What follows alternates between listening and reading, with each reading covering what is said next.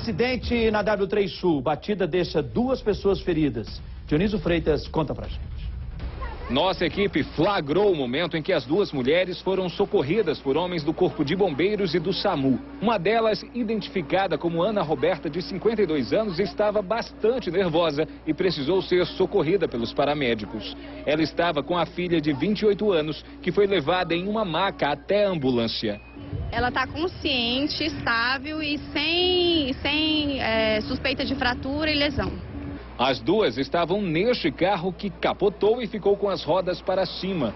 O acidente foi na W3 em frente ao setor comercial sul. De acordo com a polícia e com um dos motoristas envolvidos no acidente, tudo teria acontecido no momento em que este semáforo fechou para a passagem de carros neste trecho da W3 Sul. Como teria acontecido? O motorista deste carro prata estava exatamente nesse local onde eu estou. Ele estaria tentando o acesso a W3, quando a motorista deste carro vermelho não respeitou o sinal vermelho e terminou provocando o acidente. Para se ter uma ideia do estrago, a frente do carro ficou parcialmente destruída. Peças ficaram espalhadas pela pista. O carro das duas mulheres capotou. A gente vê aqui o local, o local exato da batida.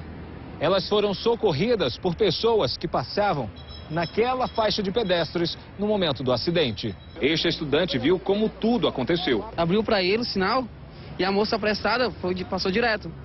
Aí na hora que ela passou, o rapaz bateu, ela capotou. O dono do carro prata não quis falar sobre o assunto. Até o fim da manhã, a perícia não tinha passado no local e o caso foi registrado na delegacia da